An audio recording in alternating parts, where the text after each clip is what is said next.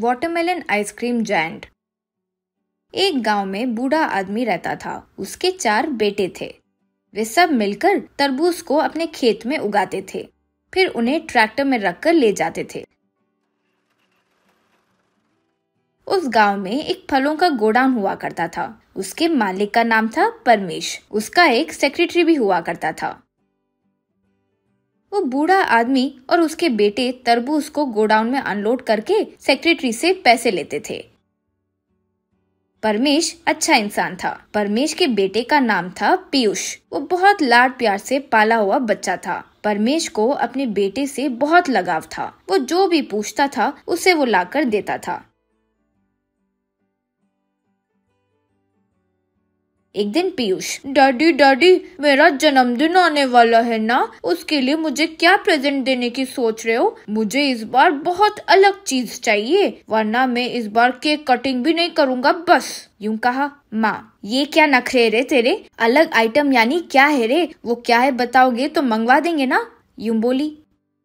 परमेश। उसके बारे में तो तुम जानती ही हो ना? उसे क्या चाहिए? उसे ही नहीं पता। हम जो दिखाते हैं वो उसे पसंद नहीं आता। सेक्रेटरी इसे क्या पसंद है? वो बताओ भाई। यूँ कहा सेक्रेटरी बापरे मैं हाथ जोड़ता हूँ सर। मुझे इसमें मत खींचिए। पिछली बार भी ऐसे ही अटक गया। बाबू को पसंद होगा सोचकर रिमोट कंट्रोल हेलीकॉप्टर मंगवाए लेकिन बाबू को पसंद नहीं आया तो उन्होंने केक कट नहीं किया। इससे आपको गुस्सा आया और मेरी नौकरी तक हाथ से चली गई। और पीयूष बाबू तो मेरे बाइक को एक महीना तक पंचर डालते ही चला गया। मुझे छोड़ दीजिए सर। मैं हाथ जोड़ता हूँ। यूँ कहा परमेश। क्या ज़्यादा कर रहे हो? तुम्हें रखा क्यों है? सलाह देने के लिए ही तो ना। तुम जो भी उसे पसंद हो, वो आइटम को मंगवाना ही होगा। वरना अभी नौकरी से निकाल दूँगा। कहकर गुस्से से चले गया। सेक्रेटरी क्या करे समझ नहीं पाया और सर खुजाने लगा।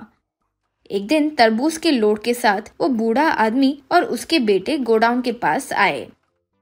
वहाँ परमेश अपने बेटे को आइसक्रीम दे रहा था तो वो उसे खा रहा था। उन दोनों को दूर से सेक्रेटरी गुस्से से देख रहा था।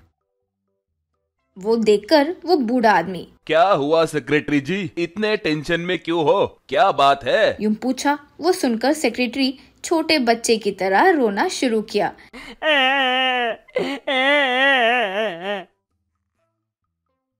बूढ़े आदमी का एक बेटा। क्या सर? छोटे बच्चों की तरह रो रहे हो? बंद करो। देखने में अजीब लग रहा है। क्या हुआ? बताइए। यूँ कहा तब सेक्रेटरी रोते हुए जो हुआ वो बताया। दूसरा बेटा पीयूष को देखकर सेक्रेटरी जी उसे क्या ज़्यादा पसंद है? यानी खिलौने या खाना ज़्यादा क्या अच्छा लगता है? सेक्रेटरी। उसे कुछ अच्छा नहीं लगता है बाबू। उसे कब क्या चाहिए उसे खुद पता नहीं होता। लेकिन आइसक्रीम तो आधी रात को भी उठाकर दिए तो खा जाता है। इतना पसंद है उसे। यूँ कहा तब दूसरा लड़का। तो मुझे एक आइडिया आया है। वो करोगे तो आपकी नौकरी बच जाएगी। कहते हुए वो आइडिया सबको बताया।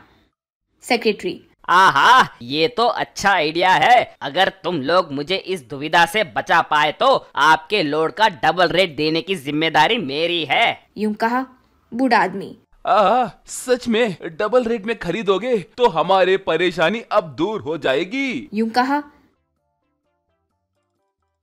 फिर सारे बेटे और बूढ़ा आदमी मिलकर तरबूज को कट करके उसमें से तरबूज निकालकर उससे वे बड़ा सा आइसक्रीम तैयार किए।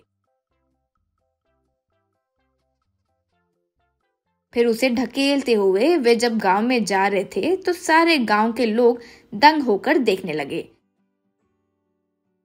वे इस तरह परमेश के घर आए। वहाँ पीयूष का जन्मदिन मनाते हुए सब तैयार खड़े थे।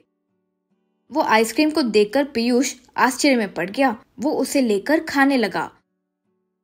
वाओ, डैडी, ये बहुत अच्छा है। क्या ये मेरा गिफ्ट है? मेरा बर्थडे गिफ्ट? कहते हुए खुश होने लगा। वो देखकर परमेश चैन की सांस लिया। वो आइडिया देने के लिए बूढ़े आदमी को एक लाख देकर सेक्रेटरी शबाश तुम्हें भी प्रमोशन दे रहा हूँ भाई। तुम इसी तरह मेरे बेटे के लिए अलग अलग किस्म के आइडियाज़ देते रहो।